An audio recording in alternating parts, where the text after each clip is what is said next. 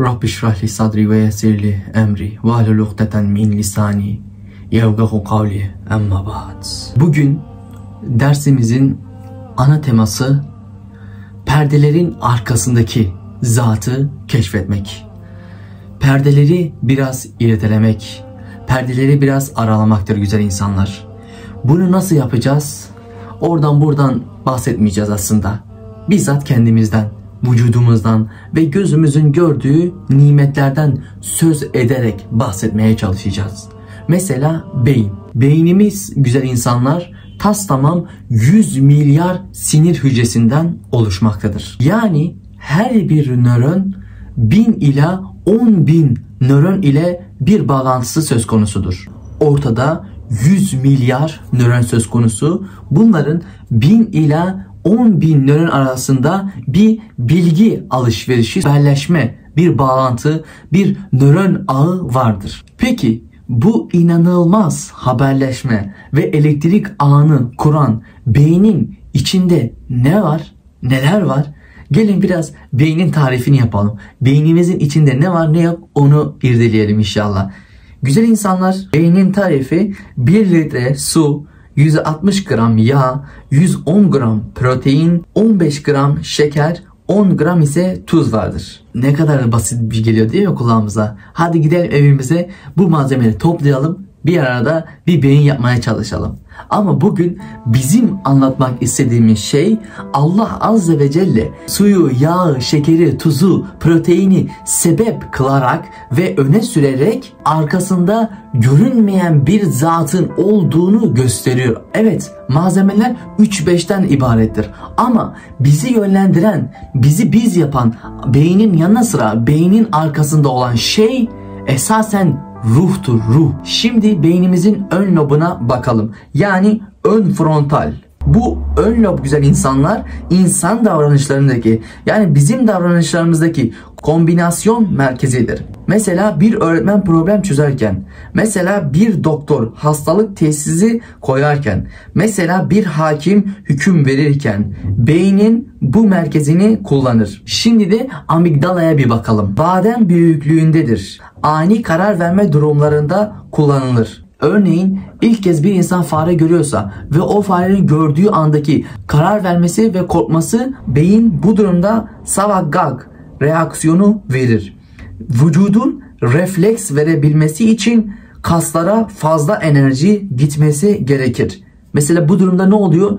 Kol ve bacak kaslarını genişletir. Kalbimiz o sırada daha fazla kan pompalar. İskelet kas sistemine sürekli enerji gidecek iç organlara giden enerji kısılır. Tansiyon yükselir. Yani vücut strese maruz bırakılır. Peki bunlar görünen şeyler. Peki görünmeyen şeye ne diyeceğiz? Bedenin dışında olan her şeye ruh diyeceğiz. Mesela güzel insanlar hayat, bilinç, görme, işitme, lezzet alma, hayal kurmak, ızdırap çekme bunlar hep ruhun işidir.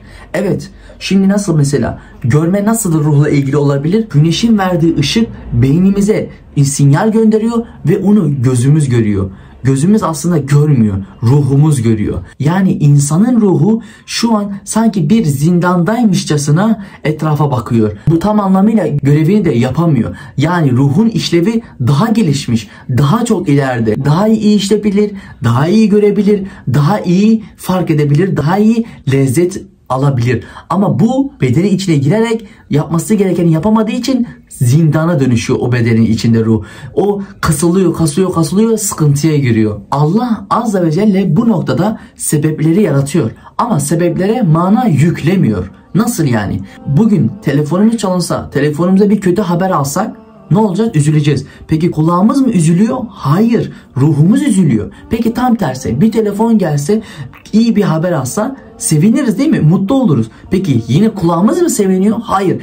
İşiten Allah kulak yoluyla ruhumuzu üzüntüye ve sevince sürüklüyor. Yani Allah sebeplerin içindeki maddeye mana yüklemiyor. Ruhun sahip olduğu duygulara mana yüklememizi istiyor. Aldığımız iyi veya kötü haber üzüntüye ve sevince sürükleyen kulak değildir. Ruhun ta kendisidir. Başka bir örnek verelim. Nedir? Altından örnek verelim. Altının ham maddesi hidrojen yani 79 tane hidrojen proton yan yana geliyor yan yana geliyor 80'de ne oluyor?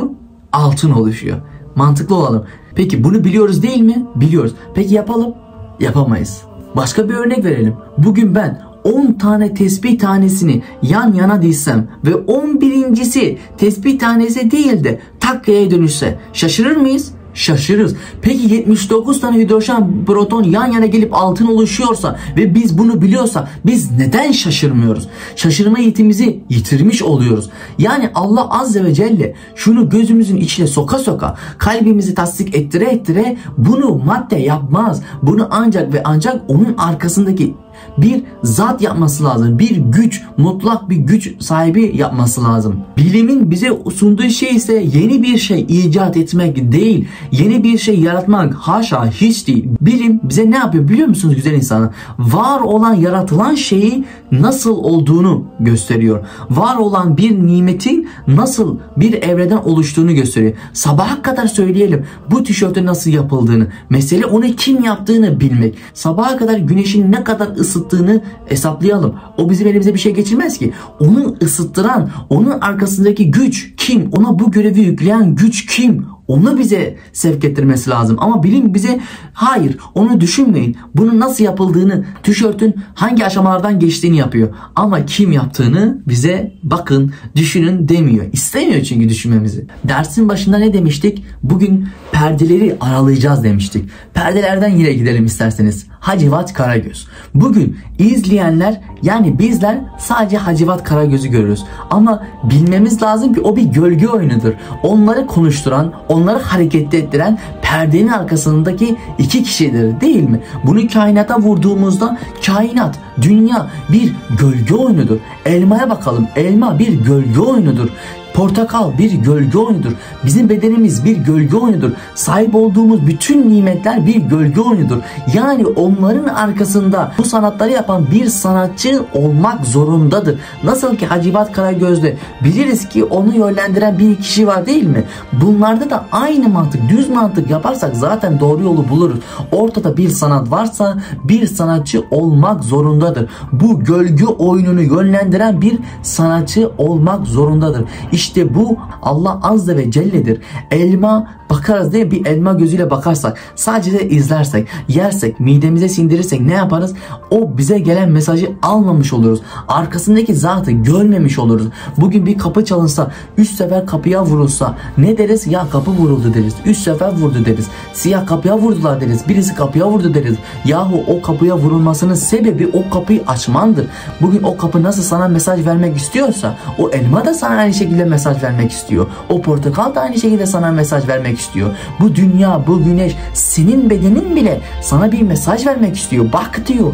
Sen kendi kendine olmadın. Bu elma kendi kendine olmadı. Kapkaranlık bir topraktan rengarenk nimetler çıkıyor. Bunu o toprak yapamaz. Bunu şuursuz, ilim sahibi olmayan bir atom yapamaz. Bunu yönlendiren, bunu yapan, bunu yaratan bir zat bir halık, bir zülcelali vel ikram olmak zorunda. Şimdi elimizi vicdanımıza koyalım. Gidelim Süleymaniye Camisi'ne. Fotoğrafını çekelim. Biz de fotoğrafı önüne geçelim. Diyelim ki Süleymaniye Camisi'ni ben yaptım. Kendi ismimizi yazsak saçma olmaz mı? Ortalık karışır değil mi? Herkes bilir onu Mimar Sinan yaptığını. Aynı şekilde biz insanlar bu elmayı sahiplenirsek, bu portakalı sahiplenirsek bunu biz yaptık canım. Bunu bir bahçıvan yaptı canım. Bunu çiftçiler yaptı canım dersek ne yaparız? Ortalık karışır. Dünyada birbirine bağlı, kainatta birbirine bağlı bir düzen var. Her şey karıncadan yıldızlara kadar, her şey bütün nimetler bir zikir halinde. Biz de bu zikri bozarsak, biz de bu zikre ahenk, bu zikre katılmazsak ve ayrılırsak ne olur?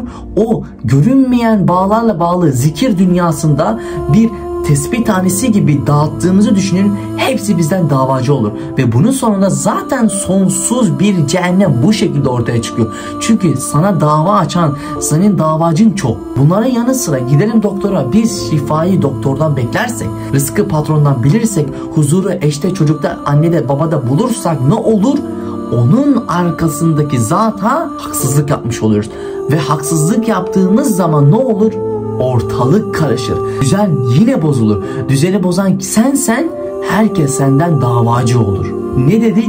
Görünmeyen bir bağ var dedik değil mi kainata? Peki bunlara şahit olan, bunlara temaşa eden, bunlara iman eden yok mu? Elbette var. İşte biz onlara evliyalar diyoruz. Evliyalar kainatın bu düzenine şahit olmuşlar. Bu düzene temaşa etmişler ve bu ahenge katılmaya çalışmışlar ve başarmışlar. Mevlana Hazretlerini getirelim gözümüzün önüne. Biz uzaktan bakınca sema ediyor. Biz uzaktan bakınca bir adam kendi etrafını dönüyor diyor. Hayır o değil. Bunu gören Mevlana Hazretleri bu maddenin içindeki manayı bilen, perdenin arkasındaki nimetleri keşfeden, Allah'a iman etmiş bir şekilde bu ahenge katıla katıla sema eder bir şekilde kendi imanını, kendi zikrini, kendi ibadetini böyle gösteriyor güzel insanlar. Ve bu eşsiz düzeni görenler, şahit olanlar kimisi ne yapıyor? Zikire tutuşuyor. Kimisi ne yapıyor? İmanını kuvvetlendiriyor.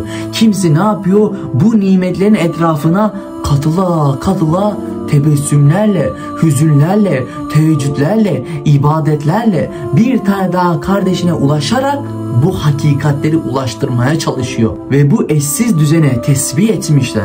Ve bu eşsiz düzene iman etmişler. Ve bu eşsiz düzene zikretmişler. Ve bu eşsiz düzene kapılıp gitmişler. Kendi benliğini bile unutup hiçliğin ta merkezine sahiplenmek istemişler. Yokluktan bir mana alemine yükselmişler. Bizim de ne yapmamız lazım? Dersin başından beri anlatmak istediğimiz konu neydi? Perdeyi artık aralayalım. Sebeplere artık takılmayalım.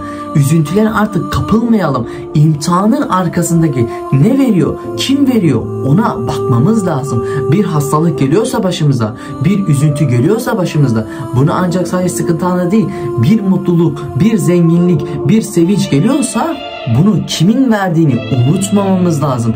Kime iman etmemizi unutmamamız lazım. O şifayı o hasta doktorla entegre etmemesi lazım. O rızkı o işçi patronla endekslememesi lazım. Rızkı veren Allah'tır. Şifayı veren Allah'tır. Huzuru veren Allah Azze ve Celle'dir. Ve bunu bilirsek, perdenin arkasındaki nimetleri aralarsak, o perdeyi aralarsak elbette artık hayatta izleyen taraf değil de gözlemleyen tarafa geçeriz.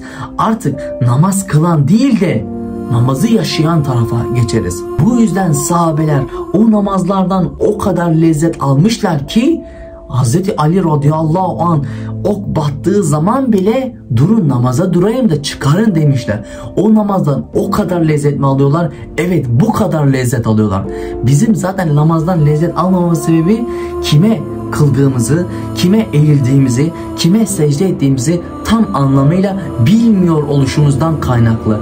İnşallah bu sohbetlerle, bu derslerle kim için mücadele etmemiz gerektiğini, kim için gerçekten üzülmemiz gerektiğini ve gerçekten sevinmemiz gerektiğini idrak ederiz. Ve tek gayemiz emri bir maruf, nehi ani münker olup rıza ilahi için Allah benden nasıl razı olur?